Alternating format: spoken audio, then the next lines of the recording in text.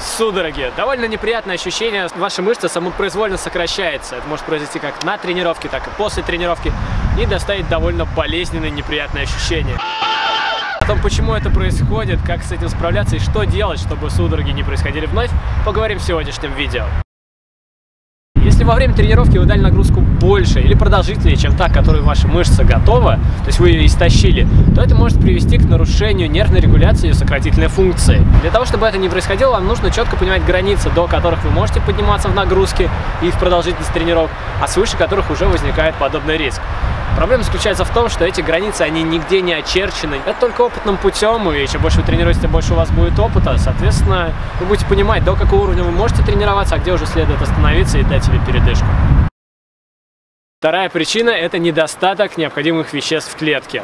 В частности, речь идет о микронутриентах, таких как калий, магний, натрий, связанных с водно-электролитным балансом в организме. Дело в том, что когда этих веществ в организме достаточно и в клетку поступает их нужное количество, то процесс сокращения мышцы, который является по сути химическим процессом, он происходит нормально.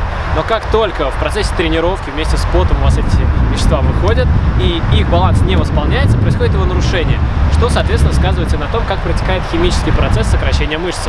И он может двигаться в обе стороны, либо вызывать судороги, либо наоборот, приводить к тому, что вам будет гораздо сложнее сократить мышцу. И вы наверняка это тоже замечали в процессе тренировки, когда вы долго тренируетесь, когда вы устаете, вам все сложнее и сложнее вызывать в мышцах то напряжение, которое было в начале. Зная этот момент, вы можете позаботиться о том, чтобы взять с собой на тренировку не просто бутылочку воды, а что-нибудь более энергетически ценное, более наполненное микронутриентами, для того, чтобы восполнить запас сил. Это не так актуально, если вы занимаетесь там 10, 20, 30 минут или даже час.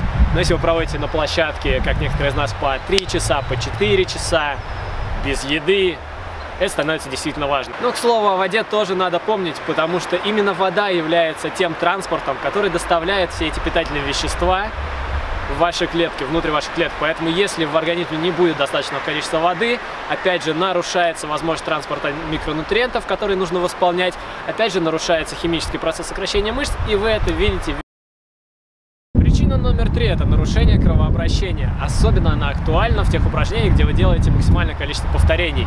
Например, когда вы делаете максимум на брусьях, или максимум отжимания от пола, или максимум подтяги. Также это может быть связано с наличием каких-то патологий в вашем организме. Например, если небольшое искривление позвоночника, небольшой сколиоз, то когда вы делаете максимум на брусьях, это все сказывается. То есть чем больше нагрузка, тем сильнее проявляются те проблемы, которые у вас есть. И это нужно учитывать, Четвертая причина – это холод или резкие перепады температур. Они также могут вызвать судороги. И это тот момент, который нужно помнить, если вдруг вам в голову придет начать закаливаться, прыгая в прорубь. Очень, очень часто человек не подготовлен, он прыгает в ледяную воду, и вот этот вот резкий перепад температуры вызывает сокращение всех у него мышц, и дальше он просто камешком идет на дно. Не надо так делать. Ну и последняя, пятая причина возникновения судорог может объясняться какими-то особенностями реакции на болезни или лекарства.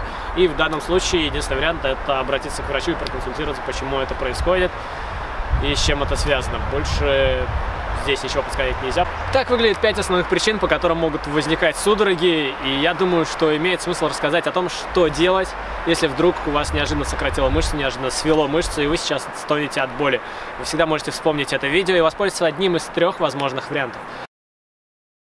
Во-первых, вы можете попробовать либо самостоятельно, либо с чьей-то помощью растянуть мышцу сократившуюся. Только очень медленно, аккуратно, постепенно, потому что иначе вы можете себя травмировать не слабо.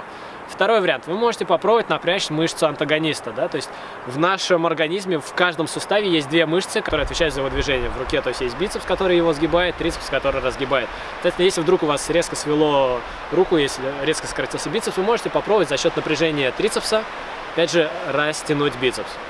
Третий вариант – это попробовать аккуратно промассажировать мышцу по всей длине, чтобы ее расслабить. При хорошем стечении обстоятельств, с течением времени судорога начнет спадать, и если вы просто полежите немного корчиться от боли, то, возможно, дальше все будет нормально. Ну и последний момент на сегодня – это профилактика. Однако следует сразу заметить, что если судороги носят систематический характер, если они сопровождаются отеками, тяжестью или болью в мышцах, и привычные средства, описанные в предыдущем пункте, не помогают, то это повод обратиться к врачу, к специалистам за помощью, за обследованием и понять, что же, блин, происходит с вашим организмом, почему это происходит и что нужно делать, чтобы этого не происходило в дальнейшем. А в остальном, если вы будете питаться качественной разнообразной пищей, содержащей фрукты, овощи, все необходимые вам микронутриенты, если вы будете делать качественную разминку и заминку после тренировки, то судороги будут редким гостем на вашей площадке и можете о них не сильно беспокоиться. С вами был Антон Кучумов. На этом все на сегодняшнем видео. Пишите, предлагайте темы в комментариях, ставьте лайки и увидимся в следующих выпусках. Пока!